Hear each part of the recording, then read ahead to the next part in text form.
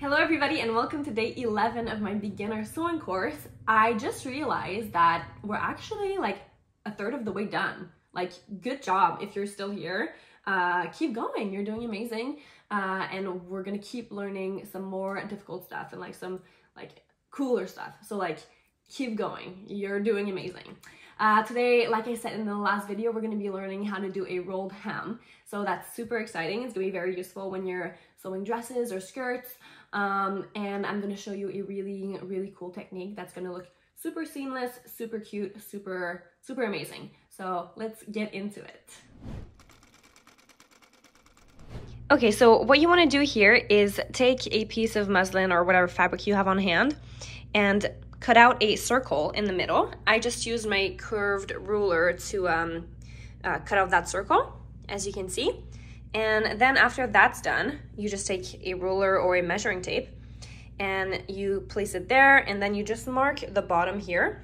And you do that like all around, like this, like this, like that. It's gonna give you a perfect circle and that's the perfect base for our uh, rolled hem. All right, so first things first, sorry about my dad. He's making a little bit of noise. Bear with me. Um, what you're gonna do is take the edge of your fabric and fold it about um, half an inch. That's pretty good. And you're gonna wanna fold that, fold it half an inch all around, like that. And then what you're gonna wanna do is just press.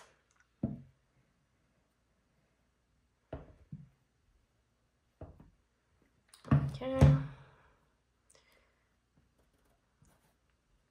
Like that. So let's just do that all over.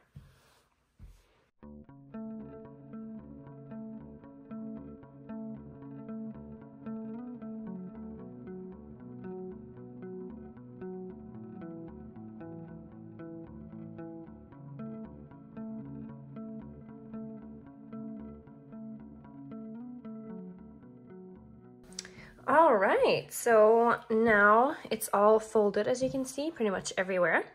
And what we wanna do now is just sew along that edge right here. Um, sew at about 1 8 to like 1 16th of an inch from that folded line here. So let's take it to the sewing machine. Okay, so I actually switched out my thread for matching thread just to show you how seamless um, this seam is actually going to be. Uh, I'm choosing a straight stitch again and putting the length at three.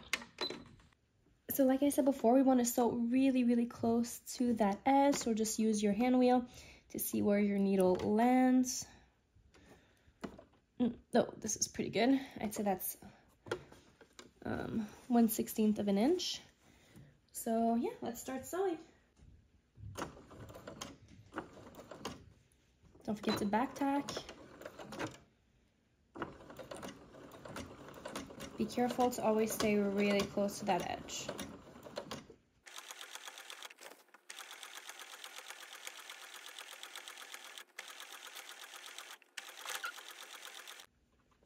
With this hem, going slow is the way to be the most precise.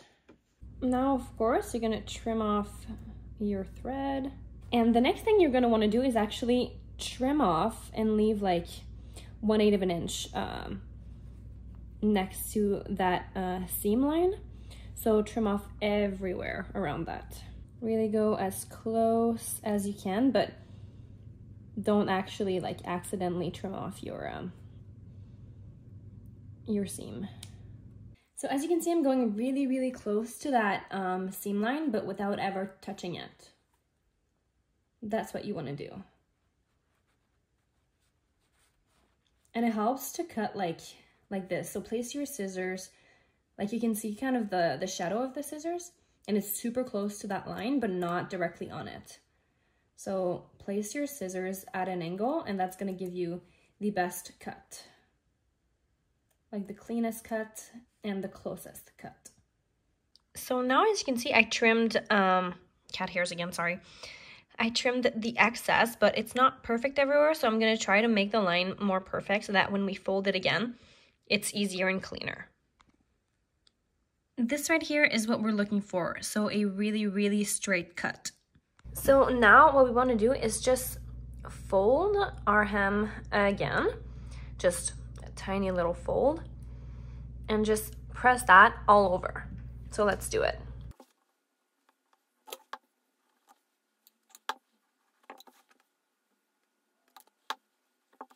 All right, so this is what the fold should look like. And what we're gonna do now is sew um, right where that seam line is right now. So kind of like stitching in the ditch. All right, so again, I adjusted my stitch length to three and I'm gonna place my needle exactly where that previous seam is. So that looks good. Let's start sewing.